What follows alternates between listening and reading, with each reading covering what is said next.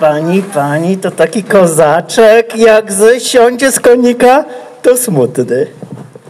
A pan zawsze bałamutny. To nie komplement, to czuję i tego bynajmniej nie tłumię.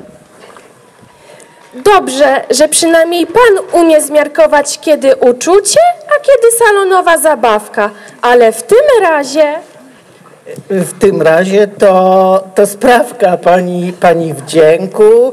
Y, Pani jest bardzo miła, pani tak y, y, główkę schyliła. Prawda?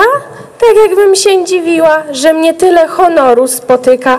Pan redaktor dużego dziennika przypatruje się i oczy przymyka na mnie jako na obrazek.